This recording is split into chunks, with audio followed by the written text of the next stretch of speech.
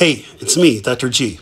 As I've mentioned before on my COVID themed podcasts and video blogs, each day brings new information about how hashtag science is leading all efforts to diagnose, treat, and hopefully eliminate the threat of COVID 19 in the global community. I also appreciate how researchers are not holding back on innovative thinking when designing novel approaches throughout the diagnostic and therapeutic continuum.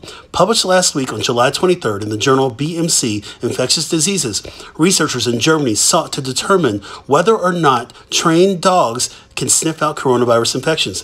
Quick backstory we already know that a dog's sense of smell overpowers our own by orders of magnitude. It's 10,000 to 100,000 times more powerful and accurate than a human's.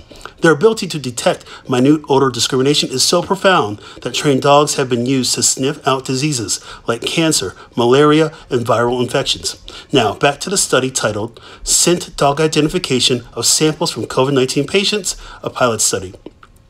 In a joint effort piloted by the University of Veterinary Medicine, Hanover, the Hanover Medical School, and the German Armed Forces, a total of eight dogs were trained for a full week and sniffed the saliva or tracheobronchial secretions of 1,012 people who were either healthy or infected with COVID 19.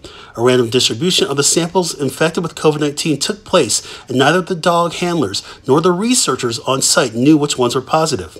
The study authors concluded that these properly trained dogs were able to distinguish between samples infected with SARS CoV 2 and non infected samples with an astounding 94% success rate.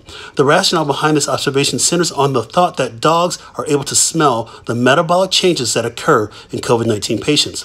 The authors also believe that dogs could be reliably used in real time as an alternative or in addition to laboratory testing, quote, thus helping to prevent further spreading of the virus or further outbreaks, end quote. This could be especially helpful in areas of mass gatherings such as airports or sporting events, or even in countries that do not have the robust infrastructure for large scale testing. Now, we can't get too excited and start looking for dog trainers online to train our family pets. This was a pilot study that has some major limitations that must be addressed in future studies.